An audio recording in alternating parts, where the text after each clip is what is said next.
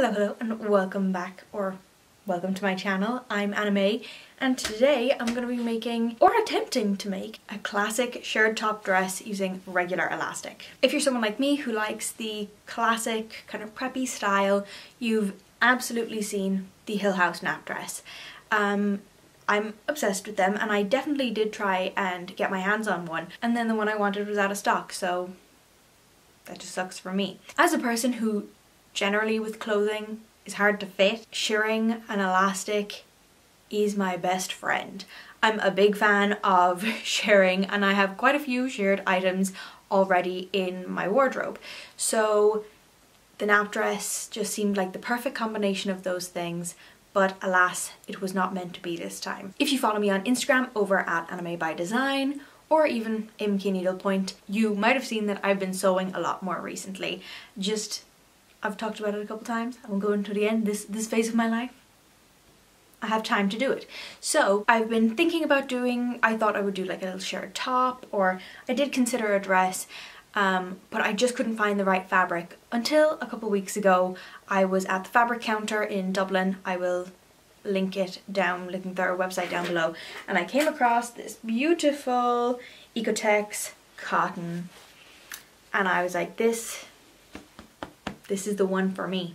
So today I'm going to be making a shirred top dress out of this particular fabric. So it's a pretty heavy cotton, like it, it is heavy enough. Um, I believe some of the nap dress pins, I believe some of the nap dress uh, fabrics are very, very lightweight, which is lovely if that's what you are looking for. Um, although I do love the nap dress, I am going for a slightly different style with my own.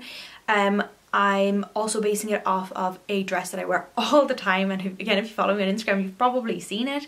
Um, I don't know if I post pictures of it as much as I wear it but I have a black and white gingham shirred top dress from that's like a midi length from Hollister that I love so I've also kind of taken the measurements from that to give myself a good idea of what I need because it fits me so well. As you can see, I haven't even taken scissors to this fabric yet, but I've done a little bit of pre-planning. So I've watched a lot of other videos um, of people who have made shirred dresses in the same style.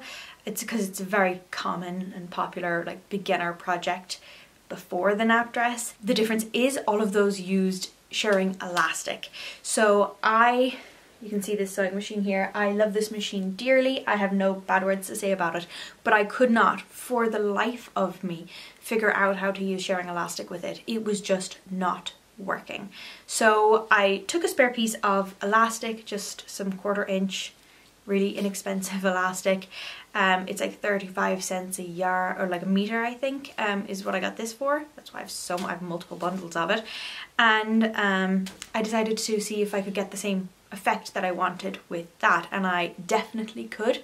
So I decided that that's what I was going to do. I wasn't going to make my life difficult. So this tutorial or just this like walkthrough video, because um, usually I start a project, realize I should film this, start filming it and then have to do a talk through at the end. So I'll link some of my other sewing projects.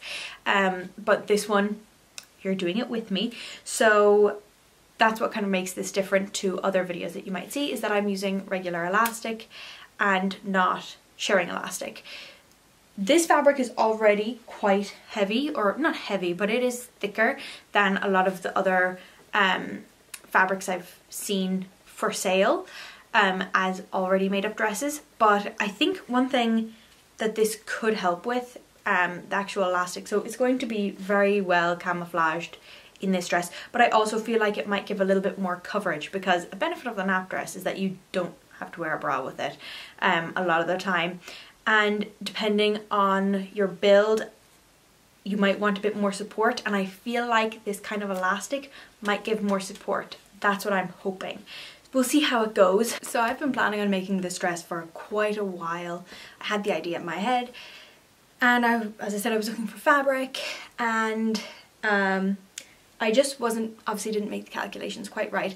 I didn't realize just how much fabric I needed for a dress like this. Even though I'm doing a short one, it just requires a lot of fabric. My intention was to do the classic double your bust measurement and have two panels of that by the length that you want the dress to be. But that's not going to work for me because I don't have enough fabric. And you might say, Anna go buy more fabric. But I don't want to. I want to use what I have and I'm obsessed with this fabric. So it's just to have to work. When you see it laid out, I'll insert an overlay. it's it, it, looks like so much fabric and I'm not that big of a person so I'm really confused as to why it wouldn't work but um, basically I believe I have about three meters of fabric um, and it is not enough for someone with a 36 bust. That said the doubling rule is kind of a rule of thumb and I think it can be changed. I have also seen videos where people have just used 1.5 times so I am just going to be using the width of my fabric.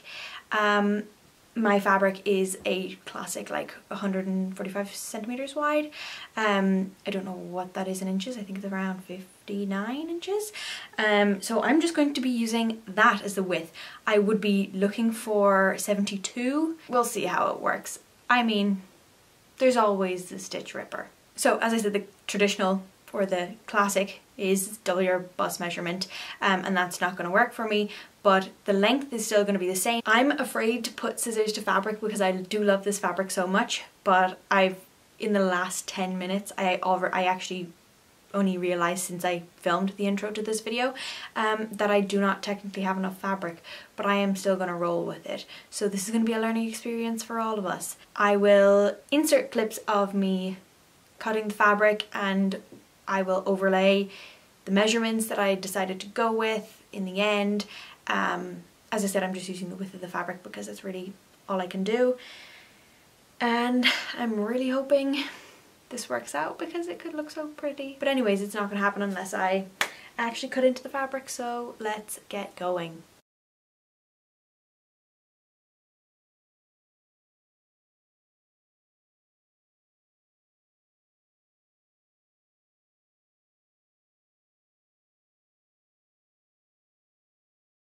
Okay, so I just, uh, I could say cut, but I didn't. I ended up just ripping the fabric because I was just doing straight across lines and at least it's on the grain that way. The first thing I'm actually going to do is I'm going to hem, I'm going to decide what's the top and what's the bottom of both pieces, kind of mark that with a piece of chalk and then I'm going to hem the top. And actually what I need to do is thread the bobbin and get all of that stuff ready. I need to find the thread I'm using. Hopefully one spool will be enough because there is a lot of stitching to do. I know that the shirring and elastic is going to take a long time, but it's that's just how it is.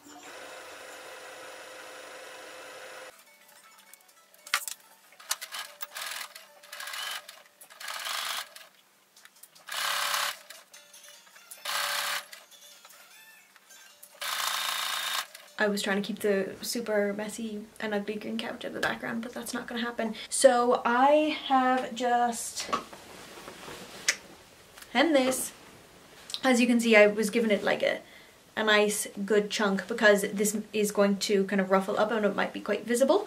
So, and because the inside of the fabric is light, I wanted it to not show. So I'm gonna go press that and then I'm gonna come back and we're gonna get started on the elastic and the lengths that I'm going to cut the elastic and all of that sort of situation which is the scary part of this. So I'll be back. I'm not going to show you pressing them because that's boring. So I'm done pressing this the neckline and I've been thinking about this for a couple of minutes now and I started and I cut a couple strips um, that were like just slightly larger than the like flat measurement of the gingham dress that I've been talking about that I really like the fit of.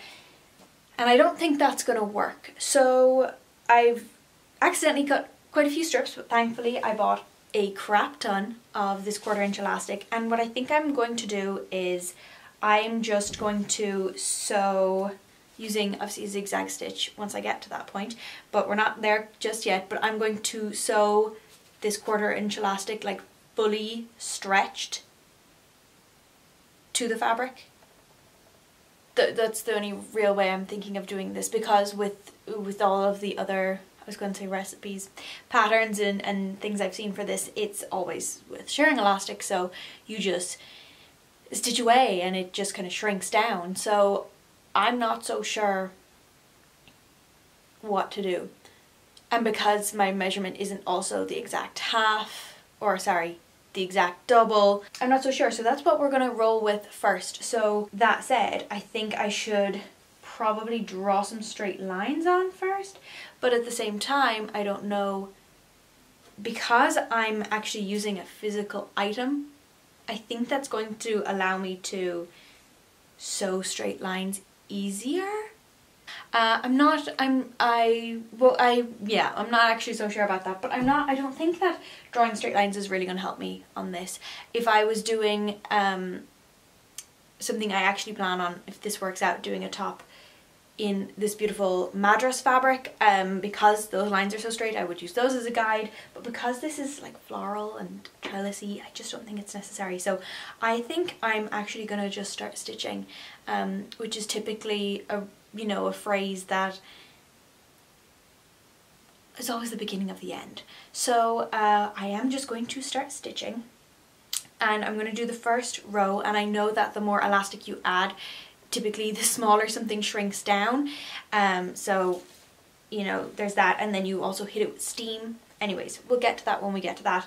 But for now, um, I'm going to disregard the little strips that I cut and I'm just going to sew the elastic on as it goes on, um, I'm going to switch my machine to a zigzag stitch because I'm pretty sure that's how you're supposed to sew on elastic like this. When I was doing test patches, I was actually just using a regular straight stitch, but I'm going to use zigzag because actually printed on this elastic is a little zigzag, which I think is kind of cute.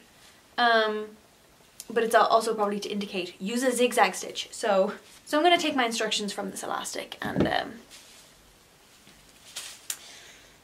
This is scary, but you know, it's happening.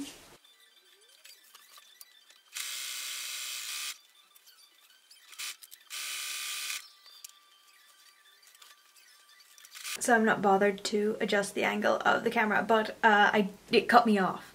But I don't know how much it got, but that definitely worked. So I ended up changing, again, I don't know how much the camera caught, but I ended up changing the stitch length, making the stitch longer but more narrow um, because it's not going to be that visible, like the, the fact that I changed it so much.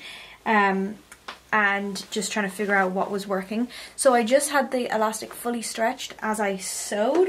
Um, I think it's going to be, um, yeah, like way too big. So I don't really know what to do with that information.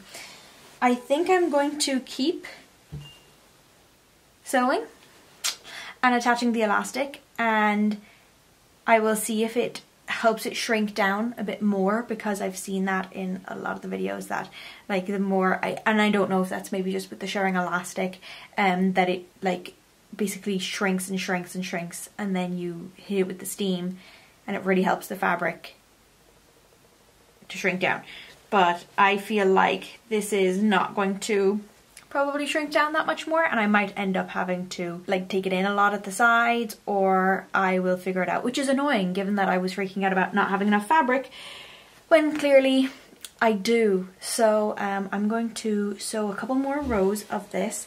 Um, I need to obviously trim the elastic here and I'm going right from edge to edge but I think I'm going to do it pretty narrow. I'm going to maybe like leave a quarter inch in between. Sorry, I was out of frame there. in between um, each of these. So like almost like one skip one, one look like in the inside. Um, and we'll see how it goes. But this is annoying. But I guess I'm just gonna have to try and figure it out. So an update. Um, it did not shrink any further but it is looking a lot more shirred. Like it's it's really tight I was gonna say neat it's not neat but um, it's not really to come across on camera very well. Um, but it is very much shirred but it's like tight. Um, I think it's just because the fabric's so thick it kind of feels thick. Um, and it like I mean it doesn't look bad it, it actually looks pretty cute but it's not shrinking down at all. I've clipped it around myself and um, it like one panel's gonna work.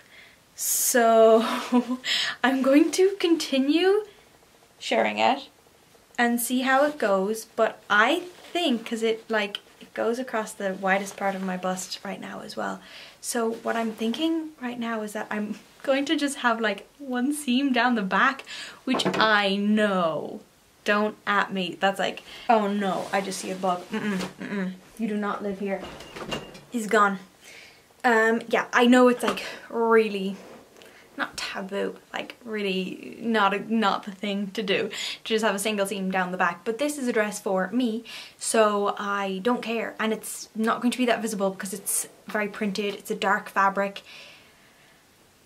I don't care. Honestly, I don't care. So, um, so much for all of that panic of not having enough fabric. Uh, I'm going to need to do some like calculations and maybe if you can have a good idea as to like how much it shrinks and stuff like that, let me know. Yeah, I'm gonna keep going for now. I don't know how many more rows of elastic it's gonna take me. Um, this is three. I'm gonna take say at least five more which is a lot. Um, it is getting more difficult to stitch it as you can probably, you yeah, the stitches just look dreadful at the back. Um, because it kind of gets caught in the machine and everything. I need, it's basically I need like a third hand. I'm pulling the fabric taut, the elastic even more taut than the fabric because um, I'm not trying to like warp the fabric either and then I have to use the other hand now to like continue feeding the fabric through the machine because the presser foot is not able to scoot it along at the level that it needs to so that's really fun the stitch length is at a four and the like zigzag is at a three and I'm liking that as the like settings the most. I would love to get this done today. So um, I'm wrapping it up for today because it's like just after 5 p.m. Um, I've been like busy doing a bunch of different things today and I have had enough. I've kind of figured out a way to make sewing the elastic easier in the last five minutes and then the bobbin ran out and I was like, you know what, mm, I've had enough. Um, I underestimated how many strips of elastic I was going to need to do. Um, I should have spaced them out a little bit more, but again, it's just really difficult because I'm trying to stretch it with one hand and stretch the fabric out with the other, but then I need to feed it through. Think I already said that. I will be trying to figure out um, how to make the shirring elastic work in future because this is just not something I can maintain. Um, it does like it it does feel really thick and nice and I think the shirring elastic I had was just really weak and that's what I didn't like so you know I think it's just a learning experience um, also I underestimated how much I was, I think I was going off other people's measurements for their bust and I wasn't thinking that I might have bigger boobs than these people. Um, so basically I need to extend it by like two inches. Um, so I have like a lot of it done now. So this is just one of the panels. So here's me freaking out because I didn't have enough fabric. But um yeah the bobbin ran out like midway through and I just like gave up. So this is it. Let me just clip it at the back if I can. Um or no I'm not going to. I'll just hold it at the back. But basically it comfortably like it's tight but it fits like just one panel. So I'm pretty sure that's what I'm gonna do. Like the shirring is pretty stretched out, but it means it's quite like nice and snug. Um, so I'm going to do that. I think I'm just gonna make the dress out of one panel. Actually, I don't know if it's gonna close the whole way around me. That might be a problem. I also have very wide hips. So maybe that won't actually work. I guess we'll have to see. Um, I'll try and wrap it around this way and see. But yeah, we're gonna call it a day. And um, that's fine. That's enough fabric. So um yeah I still need to do maybe two, two uh, I want to say two three more rows because I just want I it needs to come like under which it hasn't done yet so.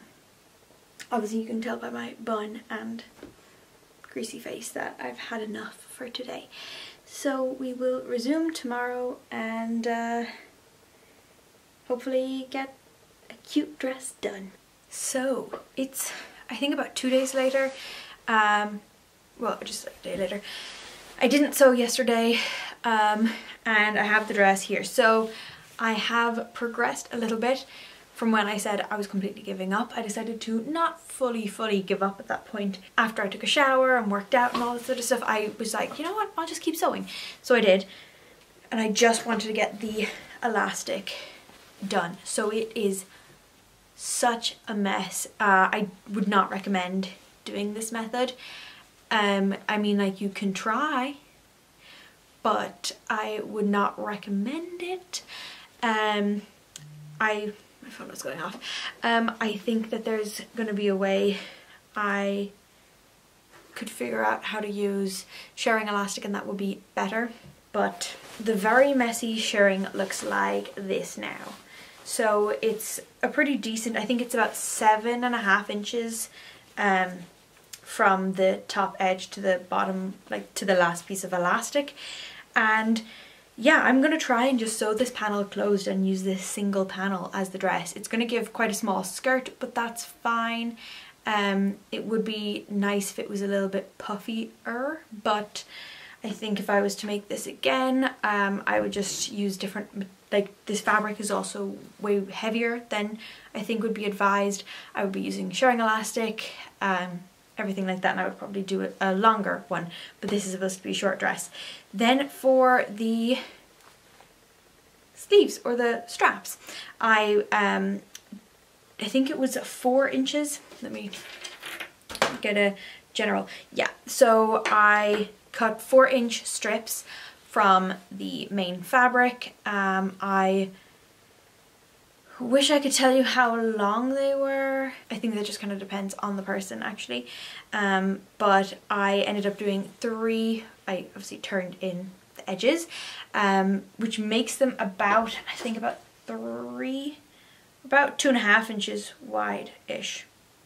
Yeah, about two and a half, mm, yeah, about two and a half inches wide. And I did three pieces of elastic, again, shirred on these. And these, I did not use a zigzag stitch. I just used a straight stitch and it works just fine. So that's also a time and energy saver.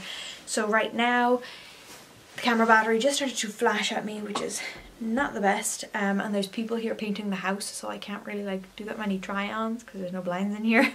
Um, but I'm going to stitch this closed. Uh, I was going to do French seams, but I'm not because it's going to create way too much bulk.